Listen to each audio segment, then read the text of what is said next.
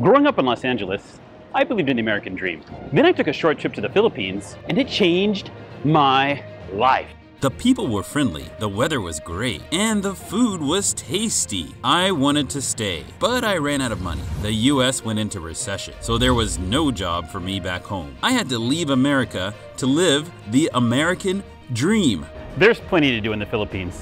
All you need is a little courage and a great idea. Are you ready to push your limits?